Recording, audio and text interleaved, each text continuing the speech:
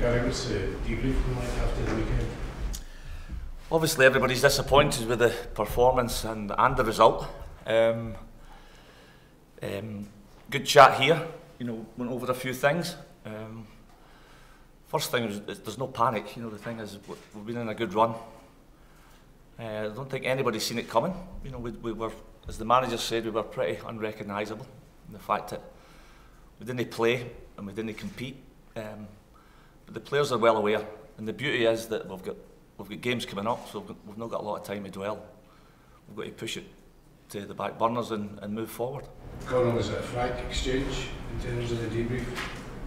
No, it was what we was expecting. Obviously, we knew that we didn't perform on the day and that the result and the performance wasn't good enough. So, um, when everything goes well, you watch clips of your your team doing well. So when it, when things are bad, that you have to take the criticism as it comes. Gary, would you accept that even with uh, 15, 16 games to go, that certainly up until the split now, there's little, if any, wriggle room for Rangers to drop more points? No, absolutely. We need to be pretty perfect. Um, we're, we're well aware of that. We know the, we've got a rough idea what the points tally's required to, to be successful. And you're right, you know, there's, there's very little wriggle room. Yeah, Gary, is it frustrating when you are on that such a good run? You say you don't, you didn't see it coming. What do you put it down to them? What What do you have to do to make sure it doesn't happen again? Well, the thing is, we, we go. We, you know, the, the, the management, you question themselves as well. You know, the preparation, the build-up, the, the due diligence that's done before every game, but that, that was all put in place. Um, first and foremost, you've got to say Hearts did pretty well. Their game plan was good, but we, and even though we didn't play particularly well, I thought we'd, we'd two, three, not half chances, good chances. Not gilt edged, but, but big chances in the first half to go in with the lead. And in the game where we didn't play that well, we, we did get in the lead. So maybe a wee bit of recognition, a wee bit of experience would maybe tell you that you can't play brilliantly well every game.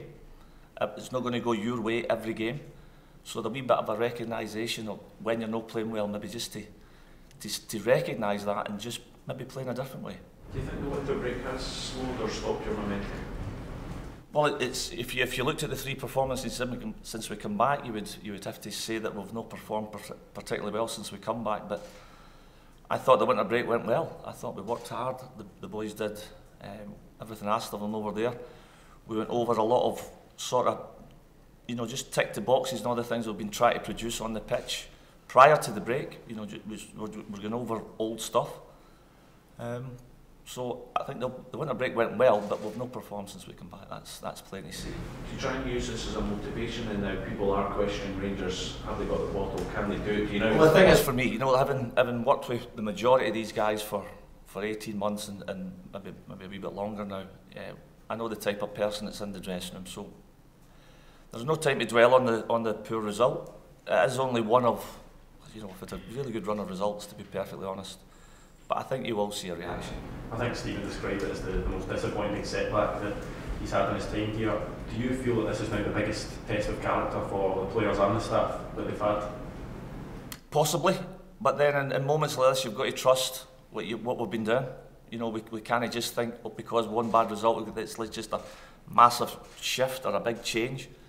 You know, we the, the, the way we've performed and the way the lads have played, you know, and the tactic that's been used has, has served as well yes, we're always looking to tweak little things here and there, but we've got to trust what we're doing, we've got to trust each other.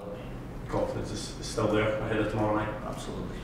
Connor, there was obviously there was enough warnings after last season, uh, the slow start after the winter break. Why, why do you think the, the team hasn't hit the standards at the start of this year?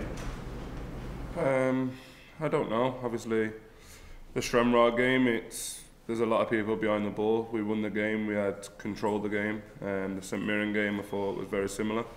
Um, and at the end of the game, we were disappointed in the change room that we didn't do more, that we didn't perform better, but we got three points and we went into Hearts away knowing um, from the game earlier in the season it was going to be a tough game, but knowing we had to turn up, we had to be brave. It might not be the prettiest game, and like um, like we said in that changing room after the game, that some days you're not going to be able to beat everybody in a football match, but the one thing we can't accept is losing the physical side of the game, getting run over losing first and second balls, and I think that's what let us down on Saturday, Sunday.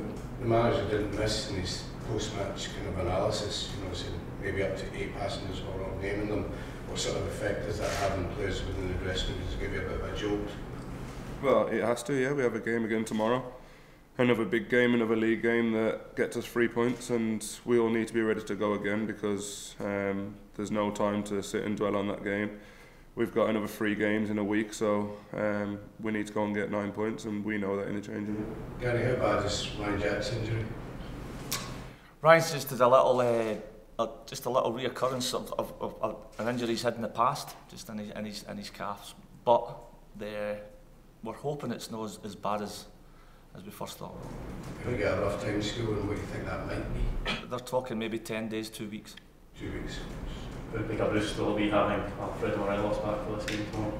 Well, that goes with that goes without saying. You know, he's he's a he's a he's a big player. He's a key player at the club. I'm disappointed to have lost him, you know, due to suspension again. But I'm sure he'll come back firing. Do you feel the team have missed him since he's been out? I think any player, any team would miss a player like Alfredo. Does it show how key discipline is? I know there's, you can argue with the right No, absolutely. You know, and moving forward, the discipline's got to be be good and, and spot on as well. Does somebody make you think again about potentially needing to add maybe one more before the end of the window to, to help you in this type of run? I think when, we can, when you're in windows, the well certainly here if, if we're continually looking, you know, you know, clubs clubs like Rangers and big clubs across the world are continually looking to to improve. And at any given moment when, when an opportunity arises, we've got to be there and ready to strike. So that goes, you know, in this window, the next window, the summer. You know, it's it's a it's an ongoing thing. We're always looking. There's a report this morning about Brandon Barker and Jordan Jones potentially leaving. You got anything to say on that? Well, the thing is, they're, they're, they're two players that were brought here to, to try and make a difference, you know, to try and make us better. You know, it's very much the case that we, all the coaching staff wanted those guys there. They're, they're, they're two players who we thought could influence games when it's very, very tight. Um, recently, the pair of them have been injured, and and it's up to them to show the management, the manager and the management group, they've got to do more to, to get in that team. I think you've seen six, six or seven what the white players in the summer, but maybe not a lot of them actually featured that much. You've been playing like that. As I, as I, as I said, the, you know, that Jordan and, Bo- and Brandon both have been injured, and since coming back, they've got to show more to get in the team. What's the situation, though, Gary? Is there scope for them to potentially... Well, yeah, they're, they're, if they if they show if they show us, they're, they're, they'll play. With the, wind, with the window approaching on Friday, we basically got one game. No, no. The, th- the thing is, they'll they will if they show in the training, they will they will they'll get an opportunity. Right. And just on Ryan Jack, um, you said 10 days, we said 10 days when he's back training or 10 days before he can play again? Well, to be fair, I'm not I'm not genned up on the, the actual from the physios. The uh, the facts are that he's got, he's got, he's got a little problem in his calf, and, and that's the sort of time that's, that's, that it's took in the past to, to recover. And just on the potential incomings, do you think you might be doing something? As I said, we're continually looking. Uh, Matt did well when he came on for uh, Jon Flanagan at half time. Do you think he's potentially more suited to replacing Tavernier in these sort of games where he's got a lot of the ball? Yeah. I would I would agree with you that Matt did very well when he when he came on the on the pitch. Um, I thought he showed a bravery to get on the ball, and in possession, I thought he, I thought he used the ball very well. So, yeah, he's, he's got a good chance. What about Ross Gary?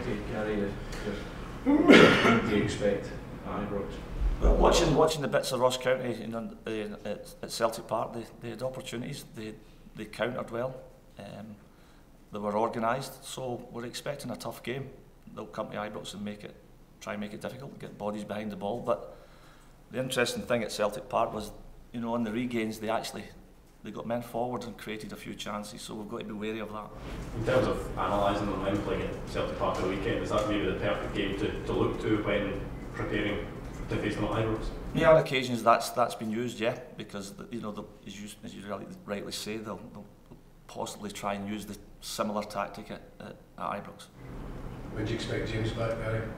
Tavernier? Uh, the word with James again. He's a he's ten days a couple of weeks away, but he's he's back on the grass though, and he's he's moving pretty well. So he's a fit lad. He might get back quicker.